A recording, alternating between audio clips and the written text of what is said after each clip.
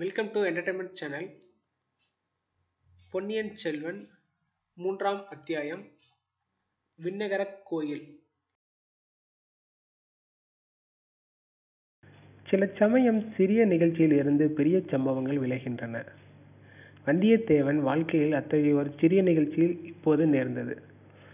சாலையோரத்தில் நின்ற பழவேட்டியரின் பரிவாரங்கள் போவதை வந்தியத்தேவன் பார்த்து கொண்டிருந்தான் அல்லவா? அவன் நின்ற இடத்துக்கு சற்று தூரத்திலே அவனுடன் குதிரை நின்று கூர்ந்திருந்தது பழுவேட்டையரின் ஆட்களில் கடைசியாக சென்ற சிலரின் பார்வை அக்குதிரை மீது சென்றது. அடே இந்த குருதையை பாரடா என்றான் ஒருவன். குருதை என்று சொல்லாதடா இது குதிரை என்று சொல் என்றான் இன்னொருவன். உங்கள் இலக்கணம் ஆராய்ச்சி இருக்கட்டும் முதலில் அது குருதையா அல்லது கழுதையா என்று தெரிந்து கொள்ளுங்கள் என்றான் இன்னொருவன் வேடிக்கையான பிரியன். அதையும் பார்த்து விடலாமா? என்று சொல்லிக்கொண்டு அந்த ஆட்களின் ஒருவன் குதிரையை அணுகி வந்தான். அதன் மேல் தாவி ஏற முயன்றான். ஏற பார்க்கிறவன் தன் எஜமான் அல்ல என்பதை அந்த அறிவு கூர்மையுள்ள குதிரைக்கு தெரிந்து கொண்டது. அந்த வேற்று மனிதனை ஏற்றுக்கொள்ள மாட்டேன் என்று முரண்டு பிடித்தது.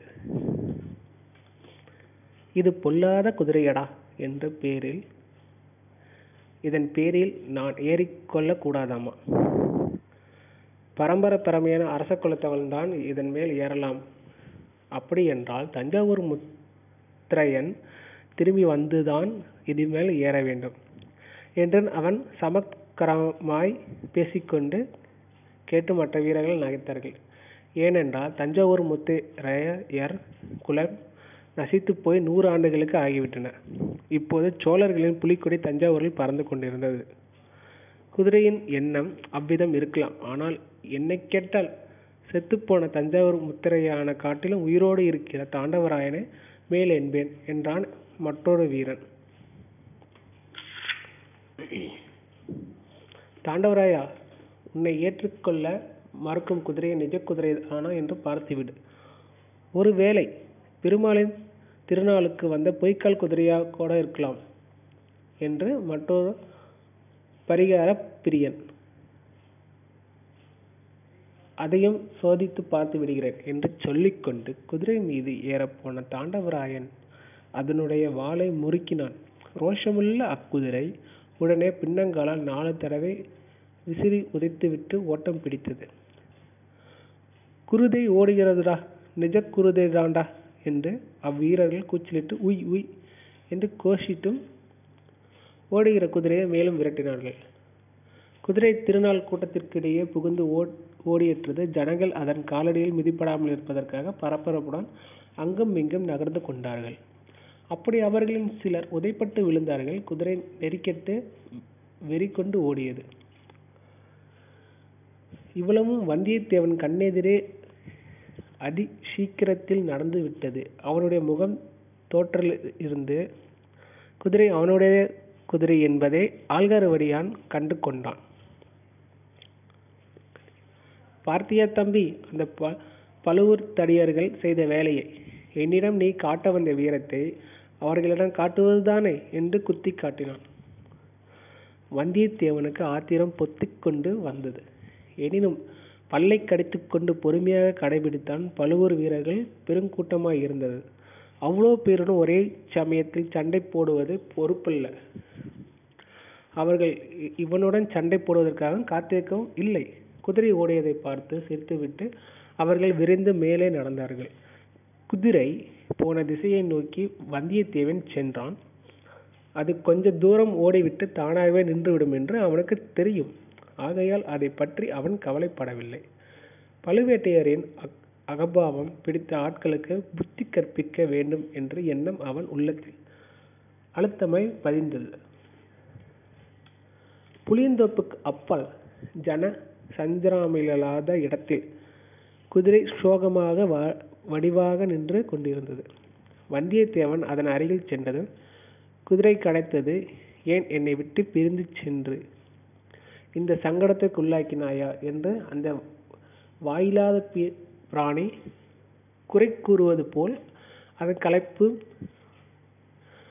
துணித்து வந்தியத்தேவன் அதன் முதுகை தட்டி சமாதானப்படுத்தினான். பிறகு அதை திரும்பி அழைத்து கொண்டு சாலை பக்கம் நோக்கி வந்தான். திருவிழா கூட்டத்தில் இருந்தவர்கள் பலரும் அவனை பார்த்து இந்த முரட்டு குதிரை ஏன் கூட்டத்தில் கொண்டு வந்தாய் தம்பி? எத்தனை பேர் அதை உதைத்து தள்ளிவிட்டது என்றார்கள். இந்த பிள்ளை என்ன செய்வான்? குதிரைதான் என்ன செய்யும்? அந்த பழுவேட்டையரின் முரட்டு ஆட்டைகள் அல்லவா இப்படி செய்து விட்டார்கள்?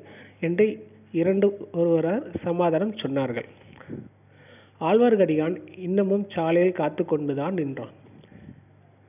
இதேடா சனியன் இவன் நம்மை விடமாட்டான் போலிருக்கிறதே என்று எண்ணிய வன்னிய வந்தியத்தேவன் முகத்தை சுழிச்சான். தம்பி நீ எந்த பக்கம் போக போகிறாய்? என்று ஆழ்வார்க்கடியான் கேட்டான்.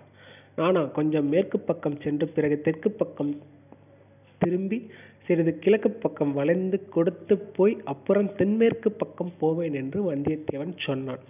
அதையெல்லாம் நான் கேட்கவில்லை. இன்று ராத்திரி நீ எங்கு தங்குவாய் என்று கேட்டேன். நீ எதற்காக அதை கேட்கிறாய்? ஒருவேளை கடம்பூர் சம்புரவரை அரண்மனையில் நீ தங்குவதாயிருந்தால் எனக்கு அங்கு ஒரு வேலை இருக்கிறது. உனக்கு மந்திர தந்திரம் எதுவும் தெரியுமா? என்ன? நான் கடம்பூர் அரண்மனைக்கு போகிறேன் என்பது எப்படி அறிந்தாய்? இதில் என்ன அதிசயம் தம்பி?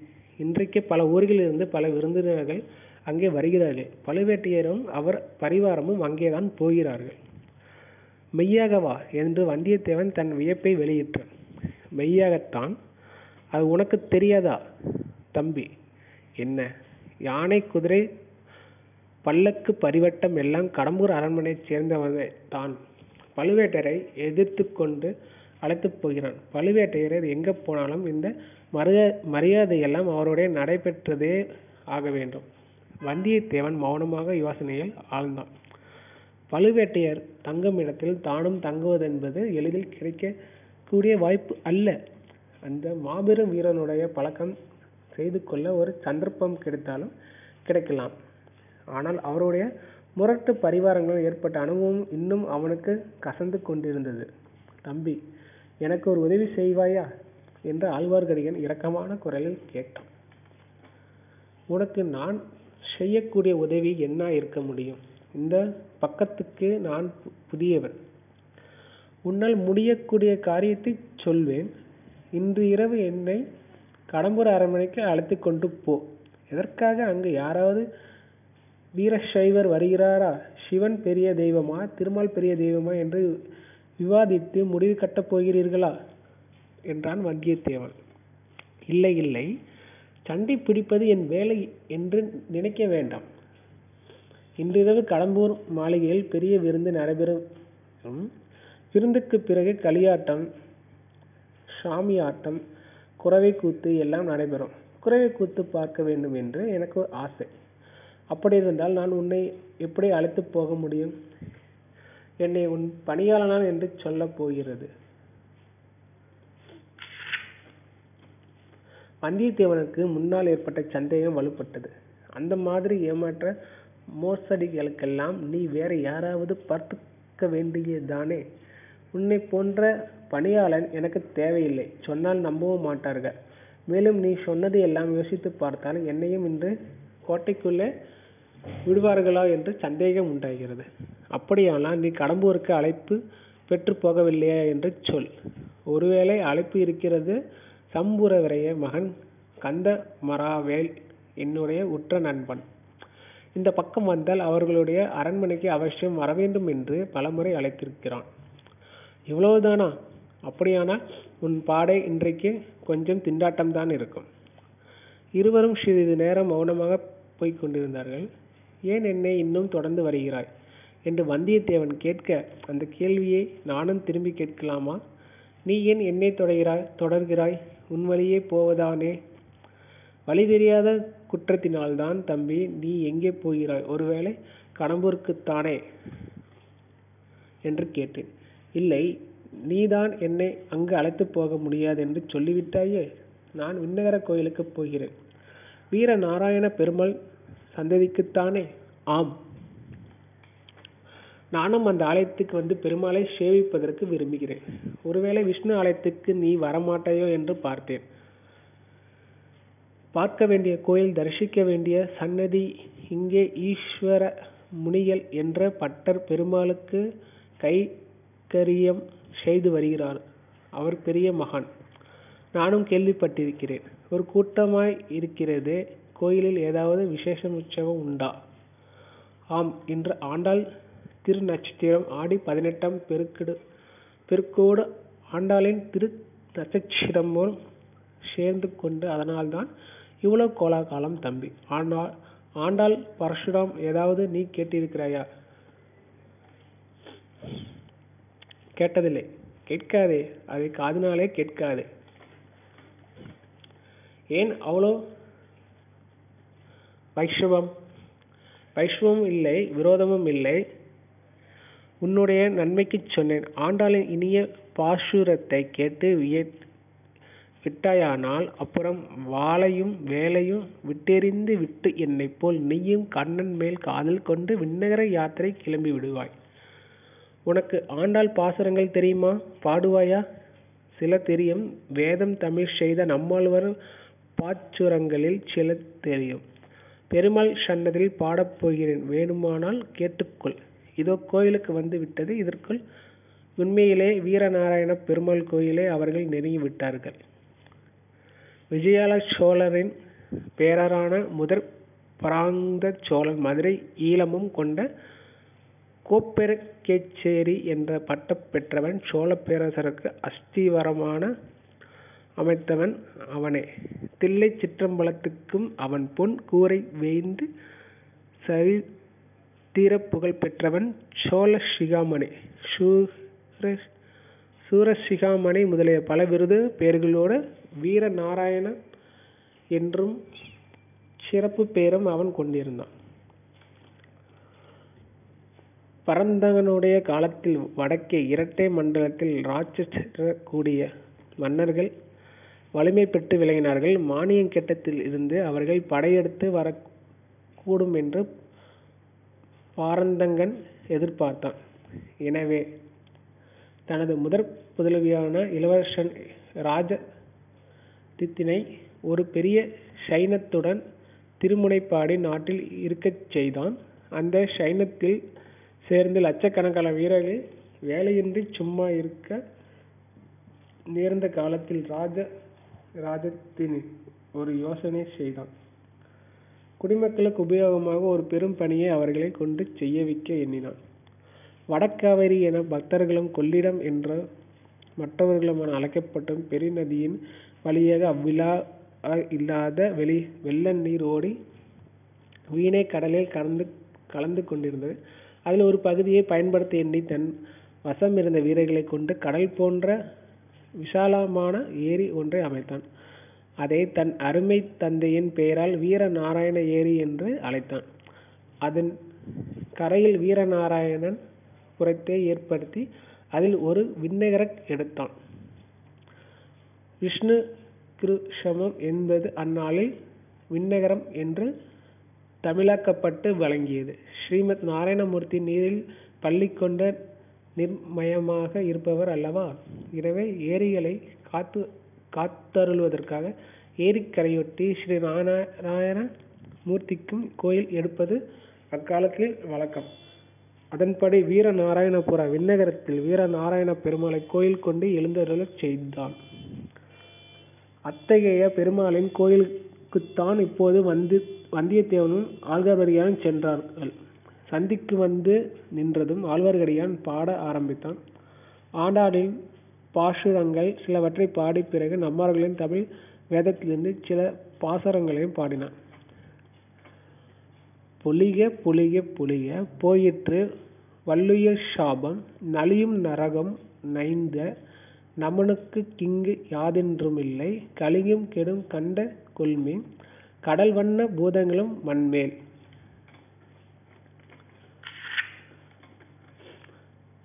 மலிய புகந்து இசைப்பாடி ஆடி உளித்தரக்க கண்டோம். கண்டோம் கண்டோம் கண்டோம். கண்ணுக்கினியன் கண்டோம். தொண்டீர் எல்லீர் வாரீர்.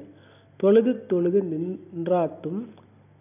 வண்டார் தன்னந்தொலைந்தான் மாதவன் பூதங்கள் மணன்மேல். பண்டான் பாடி நின்றாய். பறந்து திரிகின்றவரே இவ்விதம் பாடி வந்த போது ஆழ்வார்க்கடியானுடைய கண்களிலிருந்து கண்ணீர் பெருக்கெடுத்து தாரை தாரைய அவன் கன்னத்தில் வழியாக வழிந்தோடியதை வந்தியத்தேவன் அப்பாடல்களை கவனமாக கேட்டு வந்தான். அவனுக்கு கண்ணீர் வராவிட்டாலும் உள்ளம் கசிந்துருகி ஆழ்வார்க்கடியானை பற்றி அவன் முன்னர் கொண்டிருந்த கருத்து மாறியது. இவன் பரமபக்தன் என்று எண்ணிக்கொண்டான். வந்தியத்தேவனைப் போலவே கவனமாக அப்பாசுரங்களை இன்னும் சிலர் கேட்டார்கள். கோயில் முதலியமார்கள் கேட்டார்கள். அர்ச்சனை ஈஸ்வரப்பற்றும் கண்ணீரில் நீர் மலங்கி நின்று கேட்டார். அவருக்கு அருகில் நின்று கொண்டிருந்த அவருடைய இளம் புதல்வன் பாலமணம் மாறா பாலல்கன் ஒருவன் கேட்டுட்டு இருந்தான். ஆழ்வார்களிடம் பத்து பாசரங்களை பாடிவிட்டு கழிவையில் தென்னக்குறு கூர்க்க காரி மாறான் ஷடங்கோபன் ஒளி புகழ் ஆறாய் ஆயிரத்து இருபத்து உள்ளத்தை மாசுருக்குமே. என்று பாசுரத்தை முடித்தான். கேட்டுட்டு இருந்த பட்டத்தி பட்டணரின் குமாரனாய பாலகன் தன் தந்தையிடம் ஏதோ கூறினான். அவன் மல்கிய கண்ணீரை துடைத்து கொண்டு ஐயா குருகூஷ சரகோபர் என்னும் நம்மாழ்வார் மொத்தம் ஆயிரம் பாடல்களை பாடியிருப்பதாக தெரிகிறது. அவ்வளோ உமக்கு தெரியுமா? என்று கேட்டார். அடியேன் அவ்வளோ பாக்கியம் செய்யவில்லை. சில பக்தர்கள் சில பத்துக்கள் தான் எனக்கு தெரியும் என்றான் ஆழ்வார்க்கடியான். தேர்ந்தவரை இன்று பிள்ளைக்கு சொல்லிக் கொடுக்க வேண்டும் என்றான் ஈஸ்வர முனிவர்கள் பின்னால் இந்த ஊர் பல பெருமைகளை அடையப் போகிறது. பால் வடியும் முகத்தில் தேஜஸ் பொலிய நின்று நம்மாழ்வார் பாசரங்களை கேட்ட பாலகன் வளர்ந்து நாதமுனிகள் என்று திருமநாமத்துடன் வைஷ்ணவ ஆரா ஆச்சாரியாக பரம்பரையில் முதலாவது ஆரா ஆச்சாரியாக ஆகப் போகிறார் குருகூர் என்னும் ஆழ்வார் திருநகரச் சென்று வேதம் தமிழ் செய்த நம்மாழ்வாரின் ஆயிரம் பாச்சுரங்களை தேடி சேகரித்து வரப்போகிறார். அப்பாச்சுரங்களை அவருடைய சீடர் இசையுடன் பாடி நாடெங்கும் பரபரப்ப போகிறார்கள்.